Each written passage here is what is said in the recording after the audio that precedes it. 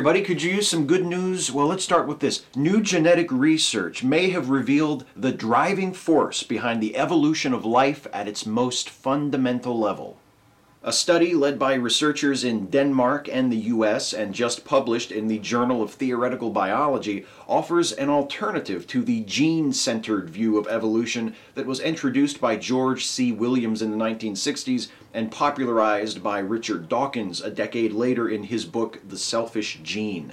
That view of evolution is based on the premise that DNA has a natural tendency to self replicate. The key claim of this new research is that DNA's resting position isn't conducive to replication and that it's actually ribosomes which are driven to replicate themselves.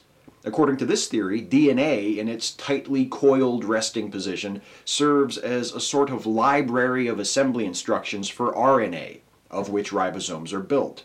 This is all open for debate, of course. Many biologists reject the gene centered view of evolution, and it's likely this selfish ribosome view will not gain universal acceptance anytime soon either. But it does narrow the theoretical gap between non living biological molecules and the simplest single celled organisms. And it proves that although evolution is a fact, our understanding of it is far from complete. Next up, researchers from Europe and the US have discovered a new antibiotic that eliminates pathogens without resistance. The new antibiotic is called Teixobactin. It was discovered thanks to a process developed by the research team for growing uncultured bacteria, a potentially invaluable resource for developing new antibiotics. When the researchers tested Teixobactin against MRSA and tuberculosis, they found that the bacteria showed no signs of resistance and that the antibiotic was able to block multiple targets on the bacteria. There's still a lot of work to be done before Teixobactin reaches the drug stage, and it's possible pathogens that are resistant to it will be discovered.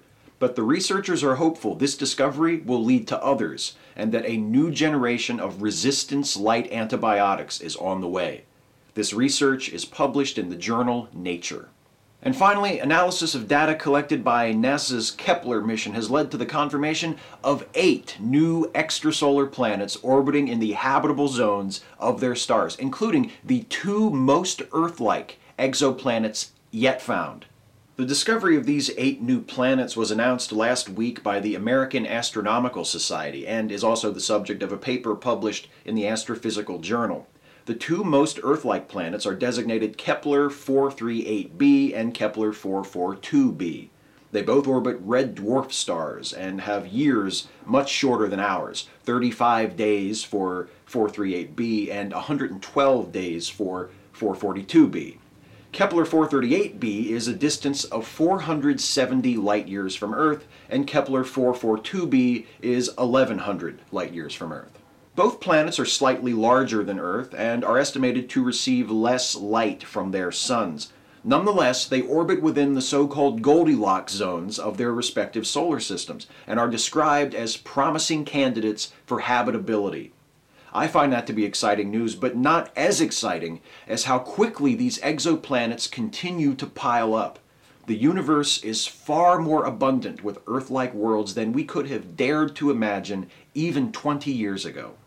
A new theory suggests that evolution is driven by the selfish ribosome. A newly discovered antibiotic destroys infections without resistance, and eight new planets are discovered orbiting stars other than the Sun, bringing the grand total of exoplanets to 1,876 for now. That's the good news. Yes, it is.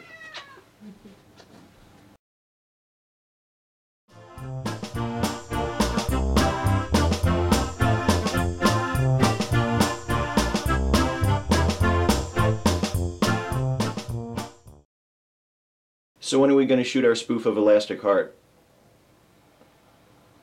I'm waiting for an answer.